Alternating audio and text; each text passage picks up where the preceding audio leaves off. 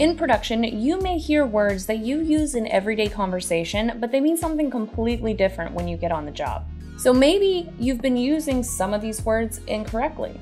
In this video, we'll go over some common editing and motion graphic terms and what they mean. Let's get started. Cut. Referring to a sudden transition between two shots or scenes.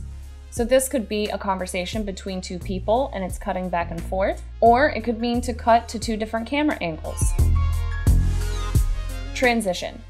A smooth transition or changing between two shots. Now this could be a simple crossfade, or there could be an effect applied. Frame. A frame is a single image within a video let's just say in this case 24 frames per second, that means that 24 single images make up one second of that video footage. Clip. A clip is a short segment of video or audio from a larger video or audio file. Montage. A sequence of quick shots or clips that create a specific effect or convey information. Render.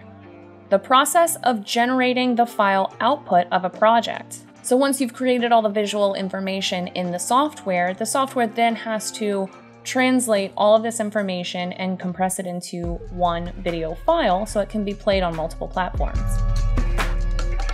Keyframe. A specific point in an animation where a change occurs. So these are digital points checkpoints, markers that have specific values, and the software animates the information in between those two values. Mask. A technique used to selectively hide or reveal parts of an image. Now this can be used in After Effects or Premiere to hide, remove little clips of footage, or to add things, create text effects, etc. Chroma key or keying is a technique used to remove a specific color from footage, often green or blue, and replace it with another image. Motion tracking, or just tracking, is the process of mapping the movement of an object or element in your video. This is useful if you want to hide something like a logo on somebody's shirt or hat in a video that you're making. These terms are quite common in production and you've probably used them before or at least heard them used.